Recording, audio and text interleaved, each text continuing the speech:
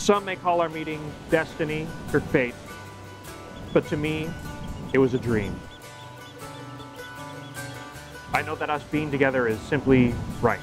All I could taste is this. So you're all ready to walk down the And aisle. all I can breathe is your light.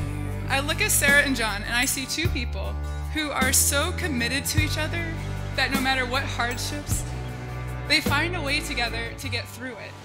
And I don't want the world to see me. Cause I don't think that they'd understand.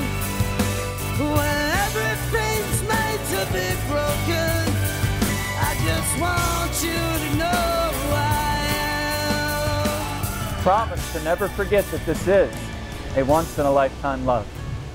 And to always know in the deepest part of your soul that no matter what challenges might carry you apart, you will always find your way back to each other.